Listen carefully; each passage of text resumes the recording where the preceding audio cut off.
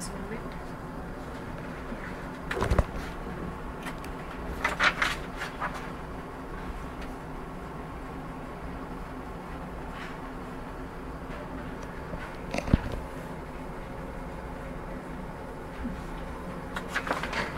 Thoratec paracorporeal band supporting both the left side and the right side of the heart.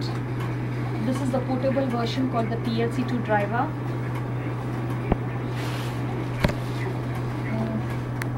And um, it works basically on the principle of contraction, contractility of the heart. So this particular device is uh, dependent on preload. So it requires enough volume to fill the heart and it works on the fill and empty principle. So there is a sensor on the pump which detects that the pump is completely filled and then sends the fill signal. Based on that, the pump sends the empty signal and this helps the device work successfully on the patient. And this is the display. So this is what they take home with them.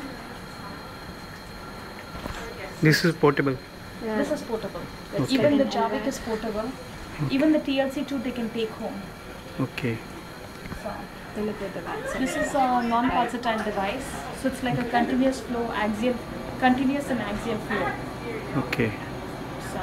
Basically, in this, the thing you'll find remarkable is uh, no pulsatility in the blood pressure. You just look at the mean arterial pressure for this device. Okay. System control. Yeah, it's the like the system driver. Okay. So this white cable that you see actually goes to her heart. Okay. It's connected to the pump. Okay.